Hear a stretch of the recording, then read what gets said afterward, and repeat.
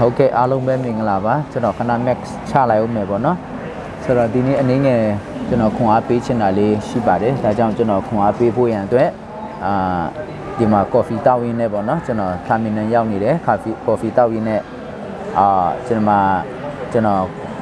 အကြံလေးရတာနဲ့ခွန်အားယူမိလေးဟာလေးကျွန်တော်ပြန်လဲမှ sharing လုပ်ချင်တာပဲဖြစ်ပါတယ်ဒီနေ့ကျွန်တော်ခွန်အားပေးချင်တဲ့အရာကချစ်ချင်းမြတ်တာပဲဖြစ်ပါတယ်ဒီနေ့ ဖရာသခင်ဟာချစ်ချင်းမေတ္တာရှင်ဖြစ်တယ်ချစ်ချင်းမေတ္တာကဖရာသခင်ကနေပဲ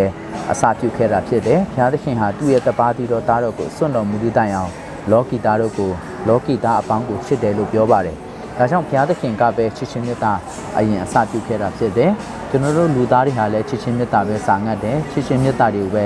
ရှာနေတာဖြစ်တယ်စစ်မှန်တဲ့ချစ်ချင်းမေတ္တာမျိုးကိုပဲကျွန်တော်တို့ရှာနေတာဖြစ်တယ်လူတိုင်းကချစ်ချင်းတယ်ထိုနည်းသို့လူတိုင်းကလည်းအချစ်ခံချင်တာဖြစ်တယ် ဆိုတော့စစ်မှန်တဲ့ချစ်ချင်းမြတ်တာကတကယ်အရေးကြီးပါတယ်။ဒါကြောင့်ဒီနေ့ချစ်ချင်းမြတ်တာအကြောင်းလေးကိုကျွန်တော်အနည်းငယ်ဝင်ငါချင်တာဖြစ်ပါတယ်။ချစ်ချင်းမြတ်တာအကြောင်း၄မျိုးဖြစ်တယ်။ချစ်ချင်းမြတ်တာ၄မျိုးပေါ့နော်။ပထမချစ်ချင်းမြတ်တာတစ်မျိုးကဘာလဲဆိုတော့သမီးစားချစ်ချင်းမြတ်တာမျိုးပဲဖြစ်တယ်။အဲ့ဒီချစ်ချင်းမြတ်တာမျိုးကိုဘာလို့ခေါ်လဲဆိုတော့အာ eros ချစ်ချင်းမြတ်တာမျိုးပဲဖြစ်ပါတယ်။အဲ့ဒီချစ်ချင်းမြတ်တာကသမီးစားချစ်ချင်းမြတ်တာမျိုးဖြစ်တယ်။လိုချင်တယ်တတ်မှတ်တယ်အာအာမရမကယူတယ်တဝင်းတူတယ် စသဖြင့်ပေါ့နော်စိတ်ကောက်တယ်စိတ်ဆိုးတယ်ဒါတွေကသမီးစားချစ်တဲ့ချစ်ချင်းမြတ်တာမျိုးဖြစ်တယ်အဲ့ဒီချစ်ချင်းမြတ်တာမျိုးကကျွန်တော်တို့ကိုပျော်ရွှင်စေတယ်လို့ကျွန်တော်တို့ကိုအတဲကွဲစေနိုင်တဲ့အထိကျွန်တော်တို့ဖြစ်စေနိုင်တာဖြစ်တယ်တနည်းအားဖြင့်ဒီထက်မကပဲကျွန်တော်တို့ဘဝကိုပိုဆိုးပက်ဆက်ဖြစ်စည်းပြစ်လိုက်နိုင်တဲ့အထိအာဖြစ်စေနိုင်တဲ့ချစ်ချင်းမြတ်တာမျိုးပဲဖြစ်ပါတယ်ကျွန်တော်တို့ကိုပျော်ရွှင်မှုလည်းပေးတယ်လို့ကျွန်တော်တို့ကိုဒုက္ခလည်းပေးနိုင်တဲ့အထိဖြစ်ပါတယ်ဒါကြောင့် ဒီချစ်ချင်းမြတ်တာမျိုးဟာလည်းတမီးစားချစ်ချင်းမြတ်တာမျိုးပဲဖြစ်ပါတယ်အာချစ်နေတဲ့အထီတော့ပြဿနာမရှိဘူးဒါပေမဲ့တစ်ချိန်ကျရင်ကွဲတဲ့အခါမှာပြီးတခုခုဖြစ်လာတဲ့အခါမှာအလိုမကျတဲ့အခါမှာကွဲနိုင်တဲ့ချစ်ချင်းမြတ်တာမျိုးပဲဖြစ်တယ်ကျွန်တော်တို့ကိုပျော်ရွှင်မှုလည်းပေးနိုင်တယ်လို့ကျွန်တော်တို့ကိုတကယ်ဟောတကယ်တကယ်ကျွန်တော်တို့ဘဝကိုလုံးဝရစရာမရှိသည့်တိုင်အောင်ဖြစ်စေနိုင်တဲ့ချစ်ချင်းမြတ်တာမျိုးလည်းဖြစ်ပါတယ်အဲ့ဒီချစ်ချင်းမြတ်တာမျိုးကတမီးစားချစ်တဲ့ချစ်ချင်းမြတ်တာမျိုးပဲဖြစ်ပါတယ် ဒုတိယချစ်ချင်းမေတ္တာကဘာချစ်ချင်းမေတ္တာမျိုးလဲဆိုရင်အာညီကိုမောင်နှမချစ်ချင်းမေတ္တာမျိုးပဲဖြစ်တယ်ဒီမှာညီကိုမောင်နှမလို့ပြောတဲ့အခါမှာတွေးသားချင်းတော်ဆက်တဲ့ညီကိုမောင်နှမမျိုးပြောတာမဟုတ်ပါဘူးတွေးသားချင်းမတော်ဆက်ဘူးဒါပေမဲ့ညီကိုမောင်နှမလို့ချစ်တဲ့ချစ်ချင်းမေတ္တာမျိုးပဲဖြစ်ပါတယ်အဲ့ဒီချစ်ချင်းမေတ္တာမျိုးကအရန်ကောင်းပါတယ်အာ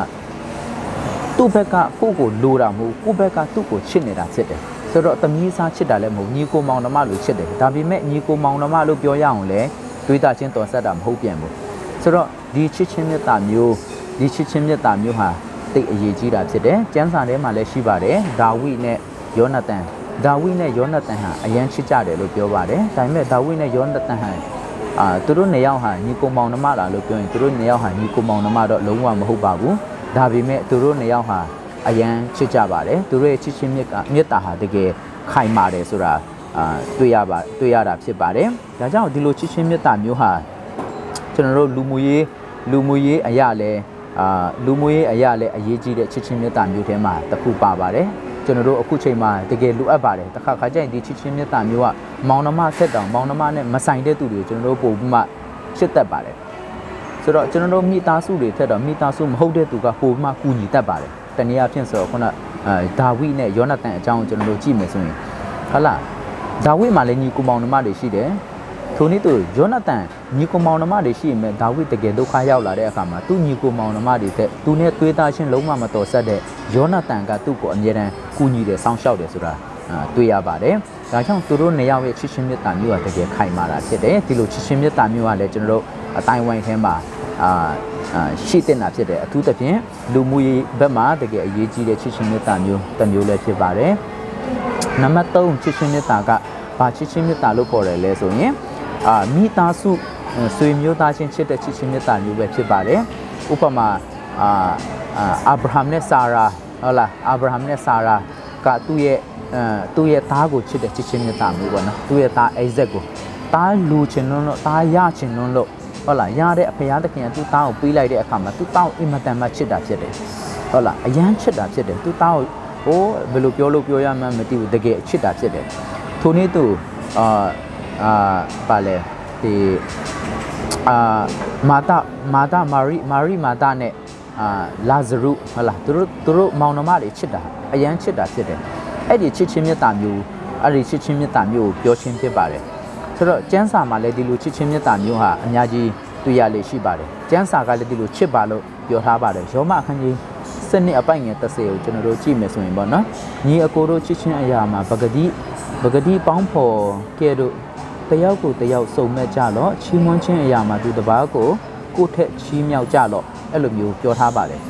ညီအကိုချင်းချစ်ချင်းအရာမှာပဂတိပေါင်းဖော်ကဲတို့တယောက်ကိုတယောက်စုံမဲ့ပါတယောက်ကိုတယောက်စုံမဲ့ပါ တယောက်ကိုတယောက်ချီးမွမ်းခြင်းအရာမှာလဲသူတစ်ပါးကိုကိုယ့်ထက်တာ၍ချီးမွမ်းပါဆိုတော့သူတို့တွေကတယောက်နဲ့တယောက်အရန်ချစ်ကြတာဖြစ်တယ်ချစ်ကြတဲ့အခါမှာဟုတ်လားကိုယ့်ထက်သူအားပူကောင်းမယ်ကိုယ့်ထက်သူအားပူတော်မယ်ကိုယ့်ထက်သူအားပူတတ်မယ်ဆိုတဲ့တယောက်ပေါ်တယောက်အနှိမ့်ချပြီးတော့သူတို့တွေရှိနေတယ်ဆိုတာတွေ့ရပါတယ်အဲ့လိုချစ်ရှင်မျိုးကိုလည်းကျမ်းစာကချစ်ဖို့ရန်အတွက်ပြောထားပါတယ်ဆိုတော့ နံပါတ်၄ချစ်ချင်းမြတ်တာတစ်မျိုးကကျွန်တော်တို့အားလုံးရင်းနှီးတဲ့ကျမ်းရင်းနှီးတဲ့ချစ်ချင်းမြတ်တာပဲဖြစ်ပါတယ်အဲ့ဒီချစ်ချင်းမြတ်တာကဘာလဲဆိုရင်အဂဘေချစ်ချင်းမြတ်တာမျိုးပဲဖြစ်ပါတယ်အဂဘေချစ်ချင်းမြတ်တာမျိုးဟာဖရာသခင်ထံကနေလာတဲ့ချစ်ချင်းမြတ်တာမျိုးပဲဖြစ်ပါတယ်ဖရာသခင်ထံမှာပဲရှိတဲ့ချစ်ချင်းမြတ်တာမျိုးပဲဖြစ်ပါတယ်ဘယ်တော့မှမပျက်စီးမပြောက်မပြောက်ကွယ်နိုင်တဲ့ချစ်ချင်းမြတ်တာမျိုးပဲဖြစ်တယ်ချစ်ချင်းမြတ်တာဆိုတာလူမှာတော့ကိုချစ်ချင်တဲ့သူတော့ကိုချစ်ပါတယ်ဒါပေမဲ့ကိုမုန်းချင်တဲ့သူလည်း ကိုချစ်ပါတယ်မုန်းတဲ့သူတော့ကိုမချစ်နိုင်ပါဘူးချစ်ချစ်ချင်တဲ့သူပဲကိုချစ်တယ်ဆိုတာတွေ့ရတယ်ဒါပေမဲ့အဂပေချစ်ချင်းမြတ်တာကျတော့ချစ်ချင်တဲ့သူပဲမကပဲနဲ့မုန်းနေတဲ့သူပါချစ်တယ်အပြစ်ရှိနေရက်သားနဲ့သူတွေကိုအပြစ်ရှိတဲ့သူတွေကိုပါချစ်တယ်ဆိုတာတွေ့ရပါတယ်အဲ့ဒီချစ်ချင်းမြတ်တာအဂပေချစ်ချင်းမြတ်တာပဲဖြစ်ပါတယ်ဒါကြောင့်ဘုရားသခင်ကကျွန်တော်တို့လူသားတွေကိုချစ်တာအဲ့ဒီအဂပေချစ်ချင်းမြတ်တာဘုရားသခင်ပဲဖြစ်တဲ့အတွက်ကြောင့်ဘုရားသခင်ကိုယ်၌ကအဂပေ ချစ်ချင်းမေတ္တာအဂပေဖရာအဂပေချစ်ချင်းမေတ္တာပဲဖြစ်တယ်။အဲ့ဒီချစ်ချင်းမေတ္တာနဲ့ကျွန်တော်တို့လူသားတွေအပြစ်ရှိတဲ့လူသားတွေကိုချစ်တာဖြစ်တယ်။သူကျွန်တော်တို့ကိုချစ်တဲ့အတွက်ကြောင့်တပါးတီတော်သားတော်ကိုစွန့်တော်မူတဲ့တိုင်အောင်လောကီသားတို့ကိုချစ်တယ်လို့ပြောပါတယ်။လောကီသားတို့ကိုချစ်တဲ့အတွက်ကြောင့်ဒီလောကကိုကြွဆင်းလာပြီးကျွန်တော်တို့အတွက်သူလက်ဝါးကားတိုင်းမှာအတိခဲအတိခံခဲ့တယ်ဆိုတာတွေ့ရပါတယ်။ဒါကြောင့်အဂပေချစ်ချင်းမေတ္တာဟာတကယ်အရေးကြီးပါတယ်။ကျမ်းစာထဲမှာ ဗာပြောလဲဆိုရင်ကျွန်တော်တို့ကျမ်းစာတစ်ချက်လောက်ကြည့်ရအောင်တိရောအခန်းကြီး၄အပိုက်ငယ်၈ထဲမှာဘယ်လိုပြောလဲဆိုရင်ချစ်ချင်းမေတ္တာမရှိတော့သူတွေဘုရားသခင်ကိုမထီအကြောင်းမူကားဘုရားသခင်တွေချစ်ချင်းမေတ္တာဖြစ်တော်မူ၏တဲ့ချစ်ချင်းမေတ္တာမရှိတော့သူဟာဘုရားသခင်ကိုမတိဘူးလို့ပြောတယ်။ဘာကြောင့်လဲဆိုတော့ဘုရားသခင်ကိုယ်၌ကချစ်ချင်းမေတ္တာပဲဖြစ်ပါတယ်။အခုနောက်ကျွန်တော်ပြောတဲ့ပထမချစ်ချင်းမေတ္တာမျိုးဟုတ်လားတမီးစားချစ်တဲ့ချစ်ချင်းမေတ္တာမျိုးနံပါတ်2ကတငယ်ချင်းချစ်တဲ့ချစ်ချင်းမေတ္တာမျိုးနံပါတ်3မိသားစု မိသားစုချစ်တဲ့မိသားစုချင်းမိသားစုပေါင်းဖော်ခြင်းချစ်တဲ့ချစ်ချင်းမေတ္တာမျိုးနံပါတ်၄ဘုရားသခင်ရဲ့အချစ်အဂဘေအချစ်ဒီအချစ်တွေဟာတိတ်အရေးကြီးတယ်ဒါပေမဲ့အဲ့တဲမှာအမှုမြတ်ဆုံးအချစ်ဟာအဂဘေချစ်ရှင်မြတ်တာပဲဖြစ်ပါတယ်ဘုရားသခင်ကကျွန်တော်တို့ကိုဘယ်တော့မှမစွန့်ပစ်ဘူးကျွန်တော်တို့အနားမှာအမြဲတမ်းရှိတယ်ကျွန်တော်တို့ကိုအမြဲတမ်းချစ်နေတဲ့ဘုရားသခင်ဖြစ်တယ်ကျွန်တော်တို့ကိုအမြဲတမ်းစောင့်ရှောက်တဲ့ဘုရားသခင်ဖြစ်တယ်ဆိုတော့အဲ့ဒီချစ်ချင်းမြတ်တာမျိုးဘယ်သူတွေကရနိုင်လဲ ကျမ်းစာပြောပါတယ်ဘုရားသခင်ရဲ့သားတော်ကိုယုံကြည်လက်ခံတော်သူတွေဟာဘုရားသခင်ကိုမိမိရဲ့ကယ်တင်ပိုင်ရှင်အသက်သခင်ချင်းယုံကြည်လက်ခံတော်သူတွေဟာဒီချစ်ချင်းမြတ်တာမျိုးရနိုင်တာဖြစ်တယ်ဘုရားသခင်ကိုမိမိရဲ့ကယ်တင်ပိုင်ရှင်အသက်သခင်အဖြစ်ယုံကြည်လက်ခံတော်သူတွေဟာကိုမချစ်နိုင်တဲ့သူတွေကိုလည်းချစ်လာနိုင်တာဖြစ်တယ်ကိုမခွင့်လွတ်နိုင်ဘူးလို့ပြောတဲ့သူတွေကိုပါခွင့်လွတ်နိုင်တာတာဖြစ်တယ်ကိုမချစ်ချင်တဲ့သူတွေတစ်ချိန်လုံးကကိုလုံးမကြည့်လို့မရတဲ့သူတွေပါချစ်ချင်းချစ်လာနိုင်တာဖြစ်တယ်ဒါကြောင့်ဖယားသခင်ကိုရရှိတဲ့သူတွေဟာ လူတွေကိုပါအဂပေချစ်ချင်းမြတ်တာနဲ့ချစ်လာနိုင်တယ်ဆိုတာတွေ့ရပါတယ်ကိုမချစ်နိုင်တဲ့သူတွေပါချစ်လာနိုင်တယ်ကိုမခွင့်လွတ်နိုင်တဲ့သူတွေကိုပါခွင့်လွတ်နိုင်တယ်ဆိုတာတွေ့ရတယ်ဒါကြောင့်ဘုရားသခင်ရဲ့ချစ်ချင်းမြတ်တာဟာတကယ်အရေးကြီးပါတယ်အဲ့ဒီချစ်ချင်းမြတ်တာမျိုးဟာဘုရားသခင်ကိုရမှတာလေခရစ်တော်ကိုရမှတာလေလူတွေကိုချစ်လာနိုင်တယ်ချစ်ချင်းမြတ်တာဆိုတာကိုချစ်ချင်တဲ့သူကိုချစ်တာကတော့ဒါလည်းချစ်ချင်းမြတ်တာတပါးဖြစ်ပေမဲ့ကိုမုန်းတဲ့သူကိုချစ်တယ်ဆိုတာဒါလွယ်တဲ့ကိစ္စမဟုတ်ပါဘူးဒါကြောင့် ယေရှုကိုမိမိရဲ့ကယ်တင်ပိုင်ရှင်အသက်သခင်ဖြင့်ယုံကြည်လက်ခံတဲ့သူတွေကကိုချစ်တဲ့သူလည်းချစ်နိုင်တယ်လို့ကိုမချစ်တဲ့သူတွေကိုလည်းကိုကိုမချစ်နေမချစ်တဲ့သူတွေကိုလည်းကိုကိုဒုက္ခပေးနေတဲ့သူတွေကိုပါချစ်လာနိုင်တယ်ဆိုတာတွေ့ရတယ်ဒါကြောင့်အဂဘေချစ်ရှင်မြတ်တာဟာသိရကြီးပါတယ်ဒါကြောင့်ဒီအဂဘေချစ်ရှင်မြတ်တာဟာ ယေရှုကိုမိမိရဲ့ကယ်တင်ပိုင်ရှင်အသက်သခင်ဖြစ်ယုံကြည်လက်ခံတဲ့သူတွေဟာဒီအဂဘေချစ်ရှင်မြတ်တာကိုချစ်နိုင်တာဖြစ်တယ်။ချစ်နိုင်ဖို့ရန်အတွက်လည်းတန်ရှင်တော်ဝိညာဉ်တော်ကကျွန်တော်တို့ကိုမဆတာဖြစ်တယ်။မခွင့်လွတ်နိုင်တဲ့သူတွေကိုခွင့်လွတ်ပေးလာနိုင်တယ်။ကိုမချစ်နိုင်တဲ့သူတွေကိုကိုအရန်အမြင်ကတ်နေတဲ့သူတွေကိုအမြဲတမ်းဒုက္ခပေးနေတဲ့သူတွေကိုပါကျွန်တော်တို့ချစ်လာနိုင်တာဖြစ်တယ်။ဒါကြောင့်ဘုရားသခင်ရဲ့ချစ်ချင်းမြတ်တာဖြစ်တဲ့အဂဘေချစ်ချင်းမြတ်တာနဲ့ဘုရားသခင်ကျွန်တော်တို့ကိုချစ်တယ်လို့တဒီနေ့ခရစ်တော်ကိုရရှိပြီး ခရစ်တော်ပေးတဲ့အဂပေချစ်ရှင်မြတ်တာနဲ့လူတွေကိုချစ်နိုင်ခွင့်ရအတွက်အရောက်စီတိုင်းဖျားရှင်ကောင်းကြီးပေးပါစေ။ဂျာနာသူတယောက်စီတိုင်းတိဆောက်ဆရာဖြစ်ပါစေ။ယေရှုတင်တဲ့နားထောင်သူတယောက်စီတိုင်းဖျားရှင်ကောင်းကြီးပေးပါစေ။ဒီမှာကော်ဖီတောက်တာဖြစ်တယ်။အာဒီ coffee world ပေါ့နော်တကယ်တောက်လို့တောက်လို့ကောင်းပါတယ်ဒီ coffee world မှာတောက်နေပါတယ်ပေါ့နော်ဆိုတော့အချိန်ရရင်လာတောက်လို့ရပါတယ်ကျေးဇူးတင်ပါတယ်အရောက်စီတိုင်းဖျားရှင်ကောင်းကြီးပေးပါစေ။